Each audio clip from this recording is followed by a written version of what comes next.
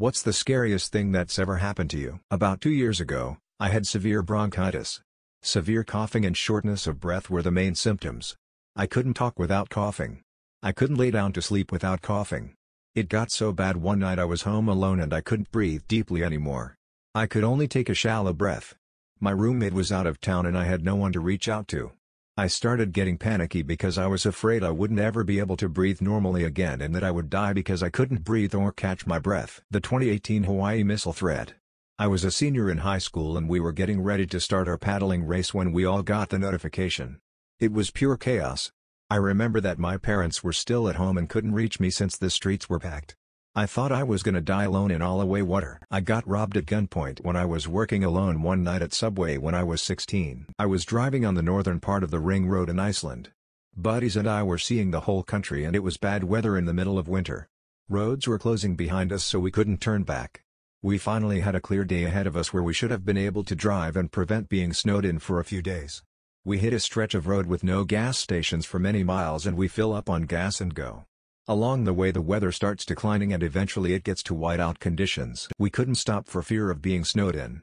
So we crawled along at 10 miles an hour. Closest I felt I ever came to dying on a road in the middle of nowhere in Iceland in a blizzard.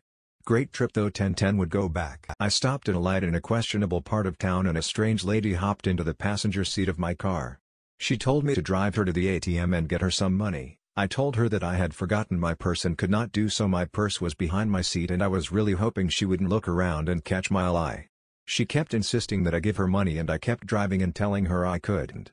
I'm pretty sure the $20 or so dollars I had in the bank would not have been enough anyway. Finally I saw a cop car stopped on the side of the road. I pulled up behind it and told her she could either get out then, or I'd start honking my horn to get the cop's attention. She decided to leave. I was pretty shaken by that. I'm not sure what I would have done if I hadn't seen the cop and she was getting increasingly insistent and I know I would not have won a fight with her. Also, she took my bag of gummy worms. My ex-husband and I got into a fight one night. Later while we were on the way home he stopped talking and started speeding. He drove into a traffic pylon at 80 miles per hour. A guy stopped traffic and walked up to the window of the taxi I was in and pointed a gun at my head through the window. Then said wrong taxi, and casually walked away. I hope he never found the right taxi. I was driving and a man was purposely riding his bike into incoming traffic and cars were hitting each other. I had to go onto the curb to avoid hitting him and came inches from hitting pedestrians. I couldn't drive for years. It was by far the scariest thing I have ever experienced. Nearly fell off a cliff when skiing but got rescued. Being in a locked bathroom while a fire drill was going off.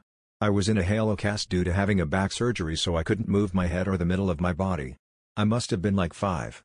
Being almost paralyzed while that terrible alarm was blaring was terrifying, it felt like imminent doom was approaching and you're left defenseless.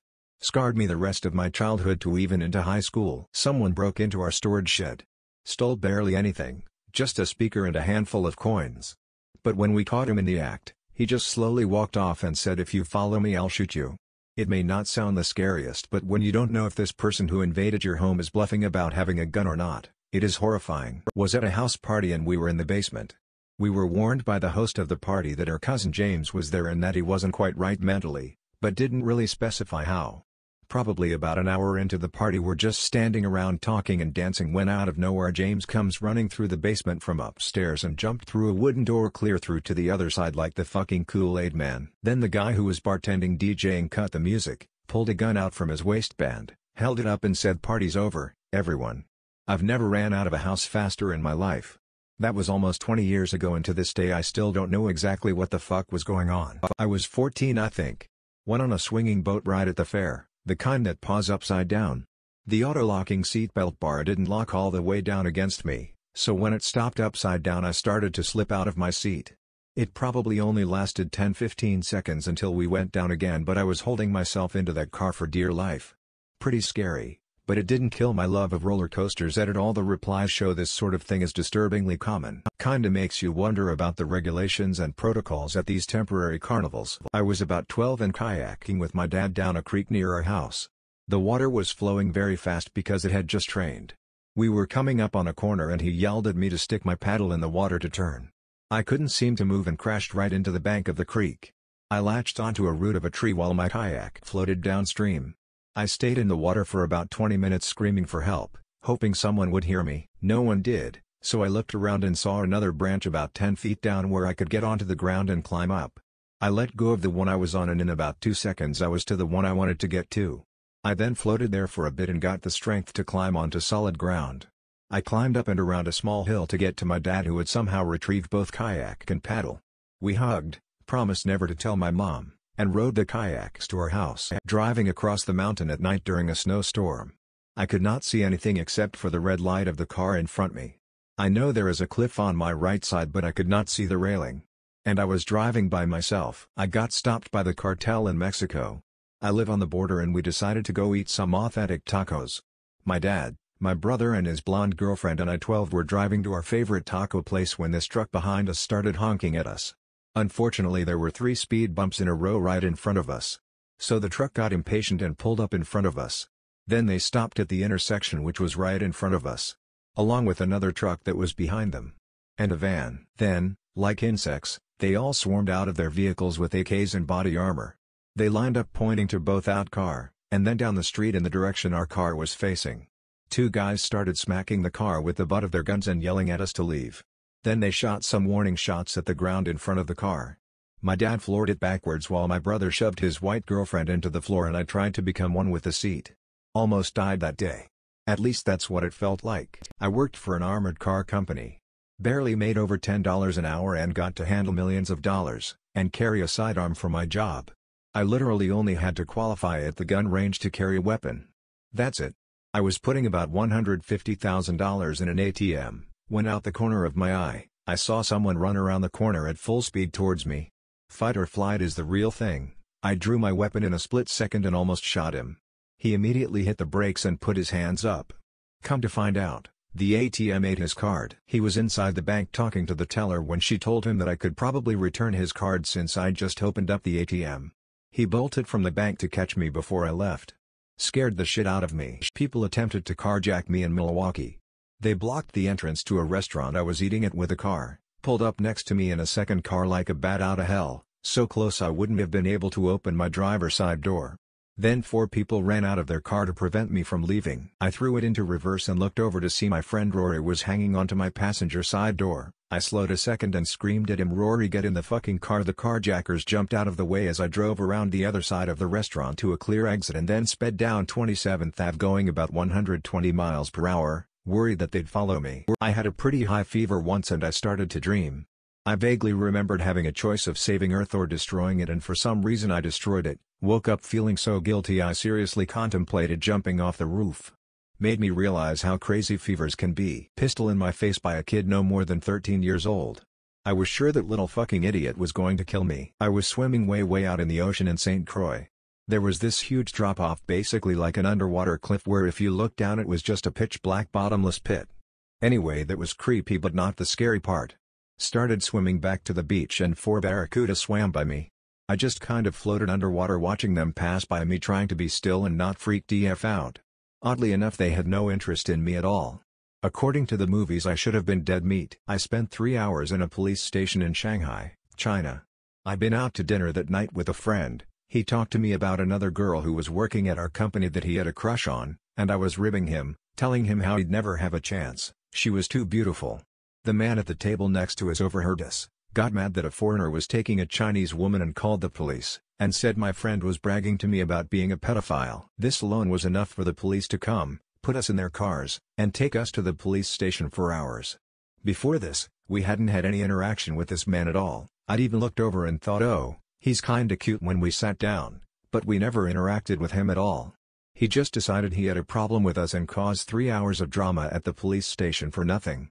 Nothing happened to him either, I don't even think he was reprimanded by the police. I fell asleep on a bus and missed by stop by several was midnight, it was a place I didn't know an girl. Thankfully the driver of the bus pointed to the stop where I should wait for the other bus so I go back and it came really fast. I was really fortunate that day. Was stupidly free climbing a big rock in Sedona and lost traction and just started to slide down and couldn't stop myself. There was a small ledge with a cactus on it beneath the rock and then a drop of at least 100 feet. That cactus stopped me and likely saved my life. I nearly drowned. I was swimming way out in the ocean when a really bad storm came out of nowhere. I was a strong swimmer but it didn't matter. It felt like my lungs were on fire and being shredded with knives. There was so much sand in the water that I couldn't see I figured out which way was up by being slammed into the seafloor and swimming in the opposite direction I was underwater long enough that I lost consciousness and my last thought was I'm going to die now and nothing will ever hurt me again when I came to, I was being dragged up the beach. I coughed and vomited up what felt like more than a liter of sand and seawater. Every time I blew my nose for weeks afterwards more sand would come out. Me 17, on a rainy day with slippery tires went through a corner too fast. Two friends in the car with me. Lost control, car swerved, we missed oncoming traffic by probably an inch. It happened in an instant. I regained control when the car was pointing in the driving direction again, by lifting from the brakes so we moved forward as if nothing happened. A week later going around the same corner an accident happened, head to head. I was second on the scene, and held a stranger's hand as they are trapped under the steering wheel. Slipping in and out of consciousness, in total pain, while waiting for emergency services. I was asked to leave by the police when they learned I was not an eyewitness to the actual accident. But I knew what happened, because I escaped a crash like this just a week before. I never asked people what happened to the people in the other car and I do not know if the person I assisted made it. All I do remember is the total chaos in my memory of arriving at the scene, linked to my irresponsible behavior behind the wheel a week before. I had filed a sexual harassment complaint at my work two years after it initially started because I thought it had been reported by my coworker who had witnessed it. When I had to go in for a third round of questioning my head boss asked me, why is it affecting you so badly? And I had to break down and had to tell them about the abuse I went through as a child. It's not something I wanted to talk about but to have them ask that, I was put on the spot. They didn't do anything to the guy but told him to keep away from me despite having so many complaints against him from not just me. Being 19 at a house party in an unfamiliar rural town with mostly people I didn't know. Boyfriend and I were having an argument outside the house and two guys decided to come out and pick a fight. Dropped my boyfriend and started wailing into him, while I tried to pull them off him and scream for help. No one heard me over the sounds of the music, but a friend had noticed the guys follow us out and grabbed some others to come investigate. By the time they hot to us, I had ripped some hair out of one guy's head and was balled up over my boyfriend's head and neck trying to protect them while he was unconscious. One guy was trying to pull me off while the other was still kicking my boyfriend. The partygoers pulled the guys off and while I was in hysterics still screaming, they tended to my boyfriend. He woke up after a few minutes, and I wanted to call an ambulance and the police. The only problem was that there was no reception, and the house owners wouldn't give me their phone to use because they'd all been smoking pot and didn't want to get in trouble. I stayed up all night in a small room with my boyfriend watching him to make sure he didn't have a concussion or pass out again or worse. It was an awful night and I've never been more scared. Only took a few minutes but it felt like hours. I was walking down a sidewalk, just about to cross a trolley track. My friend pulled me back, and the trolley drove on just a few feet ahead of me. Really saved my life. Taught me to keep my head up, and look both ways, no matter how sad or down I'm feeling that day. I almost drowned at the lake when I was stuck under something I don't remember what. It's not too scary but when I got unstuck nobody noticed me almost dying. I tried telling people but literally no one listened and my brother even said no one cares which kinda freaked me out more. Probably when my dad had a seizure while driving up a very steep mountain highway with the cruise control set to 65. I had two options jerk the wheel to the right and drive off a cliff and die, or jerk the wheel left and drive across a grassy median and two lanes of oncoming traffic to hopefully stop the truck on the smaller hillside on the opposite side of the highway. There was no third option to keep the wheel steady because the truck was already wobbling out of control by the time I realized what was happening. I took my chances with the oncoming traffic and somehow missed everyone and hit the hill on the left side. The airbag hit me so hard it temporarily knocked me unconscious. It scared me shitless I was 15 when it happened and I still have PTSD from it 16 years later.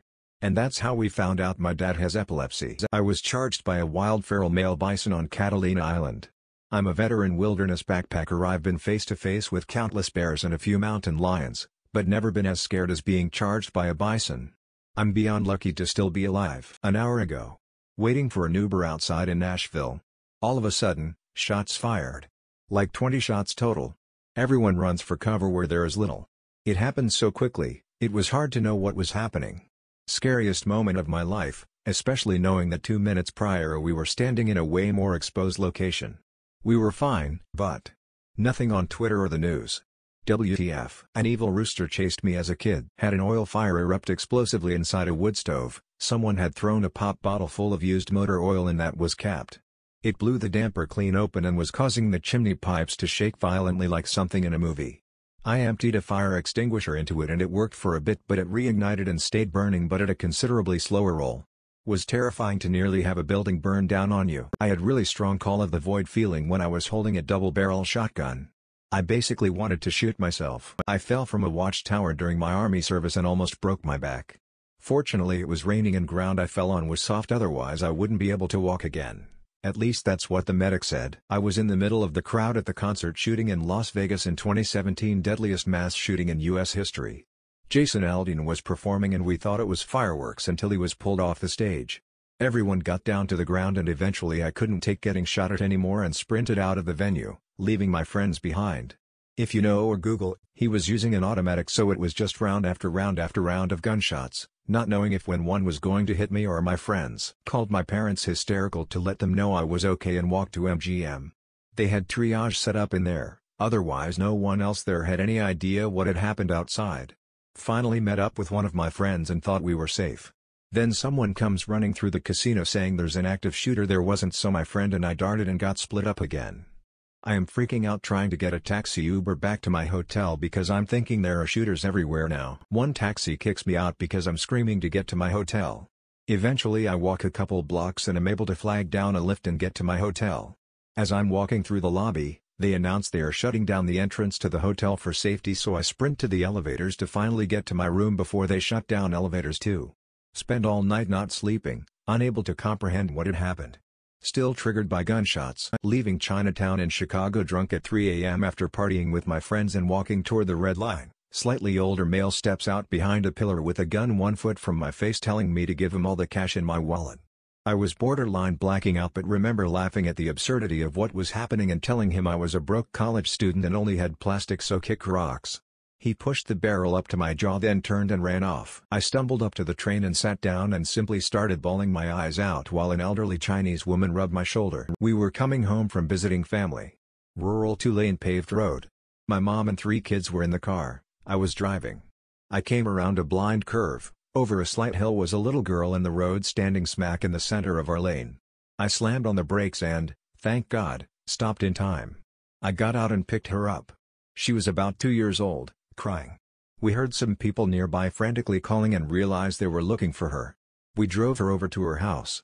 She'd been playing in the yard and wandered off. If you have kids you know how easily this can can move fast. I didn't judge. I am usually the type who sees a pothole and swerves just in time to hit it square on. I am thankful that, when it really counted, I reacted fast enough. My heart is racing just typing this out. It could have been tragic. IDK if I would have been able to mentally survive hitting a child with my car. She was so tiny. Years later, I fell through a window and slashed my arm, 48 stitches. That wasn't nearly as scary as a little girl in the road. Car accident, three barrels and landed on the roof. Was the passenger, my friend was unresponsive when I woke up, his arm half ripped as it was outside while we crashed. I was crawling into an abandoned mine and bumped into some support timbers with my hand and knocked them over. I legitimately thought that I was going to die. Luckily they were not weight-bearing, Otherwise the story probably would have ended differently. Being chased by a group of men on an empty street. I was 17, as a kid I was attacked by an ostrich. For context, I was living in the Middle East and during a school field trip, the ostrich there hated me specifically for some reason. Wandered a little too close and it tried to yank me into the enclosure. I slipped out of its beak and ran back to my class. If I ended up in there, I probably wouldn't be alive. Don't fuck with ostriches. I was roofied. My drink was right next to me and I must have taken my eyes off of it for three, maybe five seconds at the most. I'm lucky, because the second I started to feel weird, I called my brother who happened to be working across the street and he came and got me so nothing ever happened to me. But it's terrifying to think of what could have happened, who did it, and why. Getting lost in a market city center in Egypt on vacation. My family got split up and we missed the hotel coach to our hotel. My auntie got locked in a shop with the owner and he wouldn't let her go because he wanted her. And the taxis refused to take us home unless we gave them a lot of money. Know those scenes in the movies where the main characters narrowly miss being hit by a huge truck, and you hear the blasting horn fading as the truck drives away? That happened to me with a group of fellow 16 years old friends, all of whom were very concerned that we felt like way better drivers than our adult chaperone. My daughter was born. I check on her multiple times a night and there's been a few times I didn't feel her breathing. Talk about terrifying. Wrong way driver on the parkway at night. He swerved out of the way at the very last moment.